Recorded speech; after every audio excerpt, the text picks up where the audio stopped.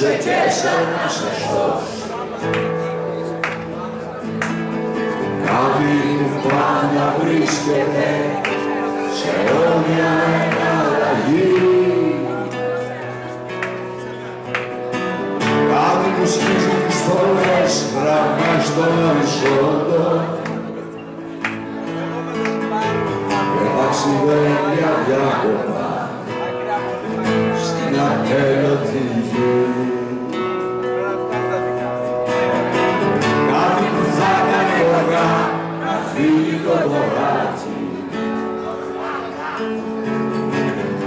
γραφείου σου πάντοτε σκεπάζει τα χαρτιά.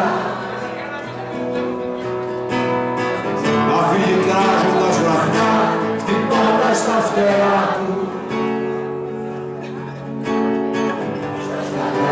Πατίνει την άλλα του νούτια Μακριά πολύ μακριά να ταξιδεύουμε κι ο ήλιος πάντα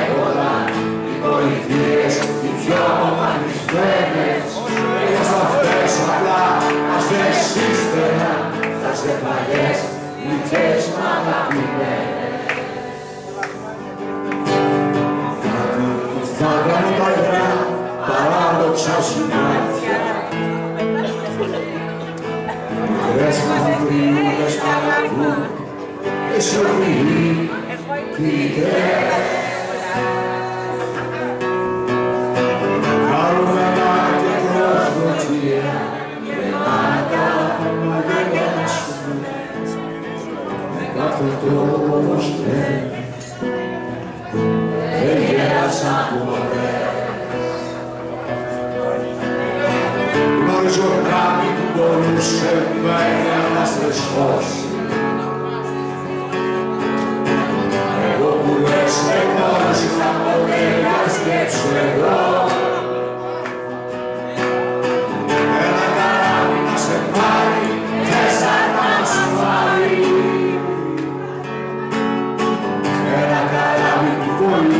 μακριά θα το δυο